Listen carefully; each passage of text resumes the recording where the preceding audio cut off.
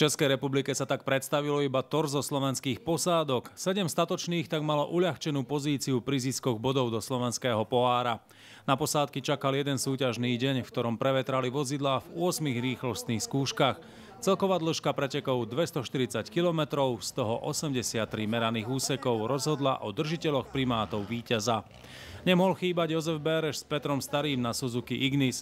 Ten mal situáciu spočítanú dobre, pretože o primát v absolútnych výsledkoch slovenského majstrovstva ho už môže niekto obrať iba teoreticky. No napriek tomu zavítal do Čiech a ďalšie kilometre iba pomohli k naberaniu skúseností v triede Super 1600 viek. Druhý v slovenskom pohári Poliak Žib má už priepasný 40-bodový odstup, no aj toho sme našli v štartovnej listine. To bola matematika pred týmto podujatím. Pred blížiacim sa štartom sa zvyšovali aj očakávania. Tak e, veľmi som rád, že aspoň nejakú súťaž ideme, keď už sme počuli tú hlášku, že Nitra sa nepôjde. Je to dobré, že preložil vlastne sem. Rýchlostné skúšky opravdu sú veľmi pekné, veľmi pekné, tešíme sa na to. E, konkurencia tiež veľmi dobrá, som rád, že môžem sa porovnať s tými jazdcami. No asi budeme hodnotení vlášť na Slovensku, takže chceli by sme dojsť a nazbierať čo naj, najlepšie body. Z ďalších Slovákov sa na štarte objavil aj Peter Gavlák so skúseným Milošom Húlkom na osvečenom Mitsubishi Lancer Evo 9. Tí mali byť dôstojným partnerom pre českých rýchlíkov Jozefa Semeráda a Jiřího Wolfa, ktorí súťažili rovnako v triede produkčných vozidiel. Od začiatku začali naplňať svoje predstavy o dobrom výsledku v tejto súťaži a po prvom kole boli práve za touto dvojicou na výbornom treťom mieste. Prišlo však druhé kolo a rozbitá 12 km dlhá rýchlostná skúška pod názvom Važanská. Tá bola katastrofou pre túto slovensko-českú posádku.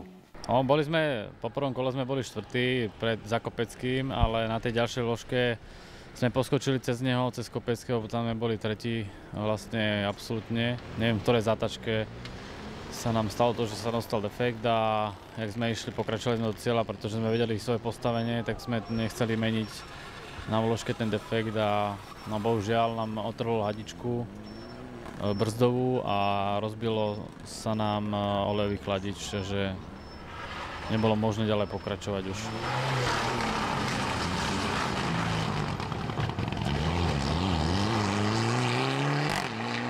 Do Čiech meral cestu aj Igor Vlasatý, ktorý spolu s Tonom Stropkovičom na Seate Ibiza Kitkár sa vo výsledkoch nestratili. Vo svojej triede bol síce osamotený, ale v porovnaní s ostatnými v triede A7 skončil na peknom druhom mieste, no viac potešili body do slovenského pohára, kde skončil prvý.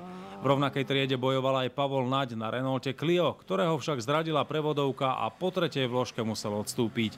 V triede N1 sme mali rovnako zastúpenie v podobe dvoch posádok so štartovným číslom 105 vidíme Ivana Kapušanského. Ten vymenil pre toto podujatie spolujazdkyňu za Pavla Kušniera. Spomínaná Gabika Senderáková mala totiž povinnosti v Českom majstrovstve, kde navigovala Michala Horu.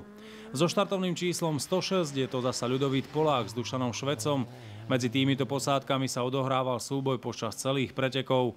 Napokon triumfoval Kapušanský na celkovom štvrtom mieste. Polák obsadil 7. priečku. Spoliehali sme sa aj na dobré umiestnenie pri posádke Gabriela Molnára, ktorý súťažil so skúseným Marošom Sucháčom. Najrýchlejšie české posádky boli nad ich sily a v skupine A5 tak obsadili konečné 7. miesto. V triede N4 sme sledovali aj Poliaka Gžiba, ktorý sa so štvrtým miestom predsa len priblížil v slovenskom pohári ku Bérešovi. No pretek prede mne, pre mne moc rýchly. Ja myslím, že to trochę za rýchle skúšky. E, mne sa pozerała treta e, RZ. Myslím, že to je taká pekná RZ. E, pierwsza może być, druga mi się nie pozerała. Myslím, że to moc rozbita. Tam chyciliśmy defekt, my, Joszko Beresz, Peter Gawlak.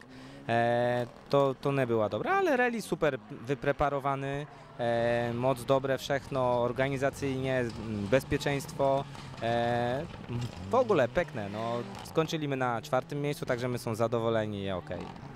Skôr ako sa budeme venovať tým najrýchlejším, pozrite sa, čo si môžu dovoliť organizátori v jednej z rýchlostných skúšok. To len pripomíname, že na trati boli v tejto chvíli už prví štyria pretekári. Slováka Jozefa Béreša podobná nevítaná návšteva na trati nepostretla, no koniec pretekov mal pre nich trpkú príchuť. Tak v podstate od začiatku sme naťahovali s ostatnými supermi, jak s Kopeckým, tak v našej triede aj s Petákom. E, celý deň to vyzeralo tak, že to gříba by sme chceli udržať aj to na to vyzeralo, pretože na, pred poslednou rýchlostnou skúškou bol 15 e, sekúnd za nami. tak sme si povedali, že poslednú rýchlostnú skúšku trošku zvolíme, aby sme e, vlastne došli do cieľa na istotu a vedeli sme, že aj tak tých 15 sekúnd nám nevráti na tej, na tej krátkej rýchlostnej skúške. Nebolo to síce tak, pretože hej po štarte nevieme kde, proste na nič sme nezašli, žiadny kamion sme nechytili, sme dostali defekt a 10 km sme šli na prázdne pneumatiky, takže kresli sme až na 8 miesto.